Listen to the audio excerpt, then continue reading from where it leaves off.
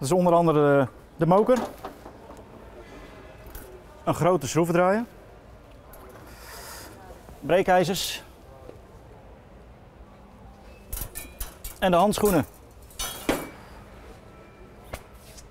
Een voorbeeld van een vreemde aankoop is als iemand bijvoorbeeld met van die plastic doktershandschoentjes een bouwmarkt inloopt en een uh, uh, gereedschap koopt die je ook kan gebruiken voor een, uh, voor een woninginbraak. Dat is een voorbeeld van een vreemde aankoop. Kassières in bouwmarkten kijken zo nu en dan vreemd op als stevig afbraakmateriaal op de band wordt gelegd. Wat moeten ze daar nu mee, denken ze dan? Het gaat uh, voornamelijk om, uh, om de wat jongere aankopers, om het maar zo te zeggen.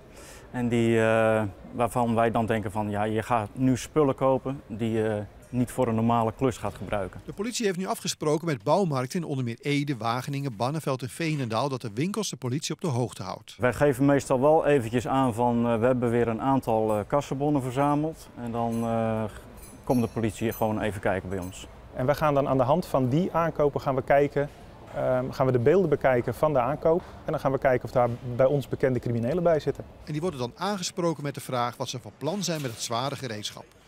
De bedrijven die meedoen aan de actie zijn te herkennen aan deze sticker bij de deur.